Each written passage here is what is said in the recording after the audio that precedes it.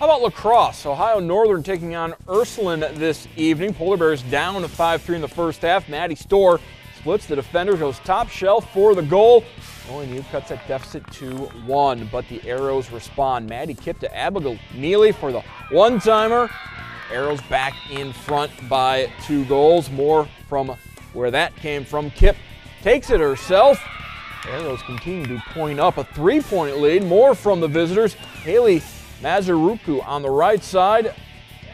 Four goals for Mazaruku. It's an 8-4 lead for Ursuline, but Polar Bears would respond. Storr on the run, weaves her way into the slot, finds the back of the net. Five goal night for Storr, and right before the half, Maggie Fuller in traffic. Buries it in the lower corner, ONU within two, and they go on to win 12-11. Kayla Roos, the tie-breaking goal, just 29 seconds left for ONU.